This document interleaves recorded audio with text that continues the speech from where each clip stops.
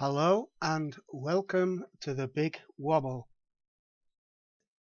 This week, Tuesday, Central America was on fire with Santa Maria, Fuego, Momotombo, Telica, Turrialba and Colima volcanoes all reporting eruptions or increase in activity. And just a day later, Mount Etna, Europe's largest volcano, was the ninth volcano this week to erupt or show signs of activity. And earlier in the week, Bali was in danger from Mount Barujari and Mount Bromo, west of Bali, both also recording eruptions. Santa Maria volcano, Guatemala, reported a phase of elevated activity and just down the road, Guatemala's Fuego volcano was at it again. The Colossus was erupting late on 30th of November and was spewing lava into the night sky. And in nearby Nicaragua, a series of at least four small explosions occurred at the Momotombo volcano. The first eruptions here in more than 110 years. Also, the Telica volcano in northwestern Nicaragua has been active since September this year, creating blasts that raised fears of a full-on eruption. Meanwhile, the Colima volcano, also known as the fire volcano, continued to erupt this week, releasing plumes of ash and smoke and just a week before the Canlaon volcano erupted in the island of Negros in the Philippines a huge coronal hole opened up on our star this week which is probably the reason for the uptick in volcanic activity. Now for the rest of the news. Just a week after Northern Europe was battered by Storm Gorm and Clodagh, which delivered winds of up to 100 miles an hour, leaving tens of thousands without power and more flooding for the poor people of the UK, Storm Desmond arrives to batter Ireland and the UK for the fourth time already this winter. The devastation from above Aerial photographs show widespread flooding across Cumbria caused by Storm Desmond, as residents tell of despair after £50 million flood defences failed to do their job.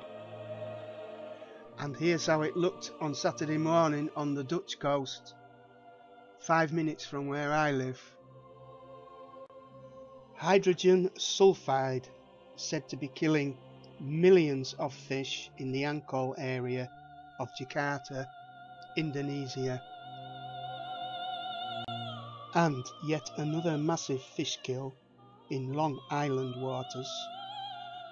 Glen Cove Creek fish kill has experts worried. Thanksgiving hell. Floods and storms leave 14 dead in Texas and Kansas.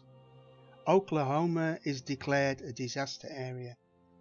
14 people are reported to have been killed in Texas and Kansas over the holiday weekend after storms brought flooding and freezing rain to a wide area of southern and central US.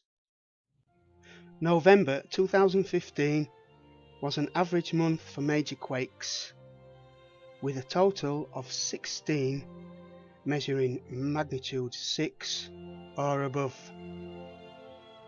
and it brought the year's total, with just one month to go, to 136. Another event and important person from the Bible jumps from the pages. A 2,700 year old piece of clay inscribed with the seal of the biblical king Hezekiah. A new discovery has emerged from the historic soil of Jerusalem and it resurrects one of the most important kings of Judah.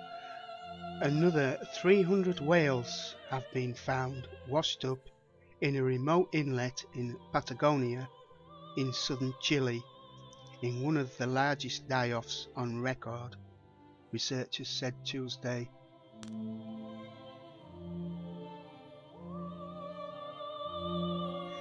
El Nino is thought responsible for the heaviest rainfall in more than a hundred years, killing at least 269 and leaving hundreds of thousands stranded in Tamil Nadu, India.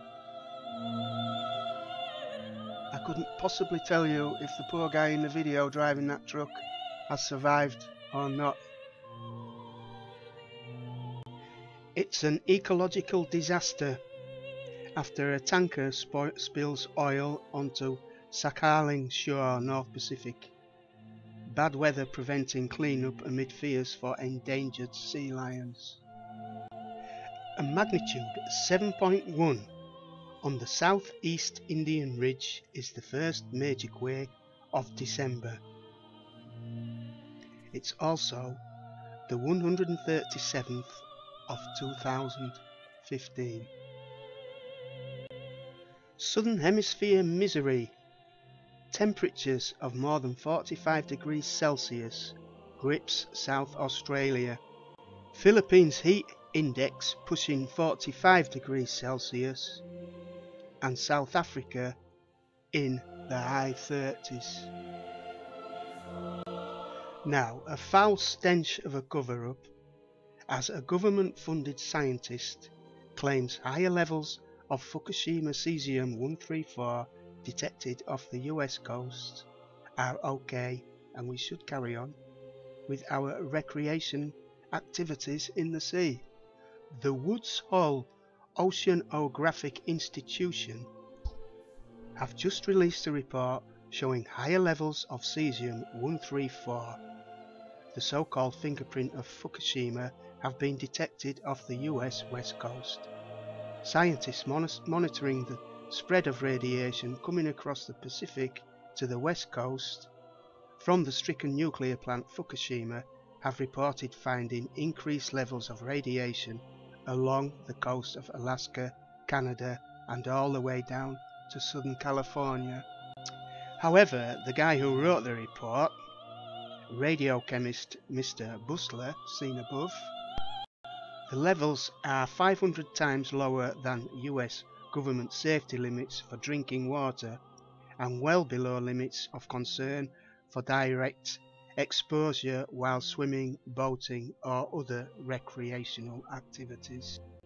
I did some quick digging and learnt that the US government had given the organisation almost $9 million. And finally, a real horror story is emerging. Chinese and Danish academics discover that superbugs have breached the last line of antibiotic defenses. Grim announcement says worldwide epidemic inevitable.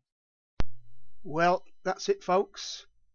Thanks for watching and hopefully I'll see you all next week. Bye bye.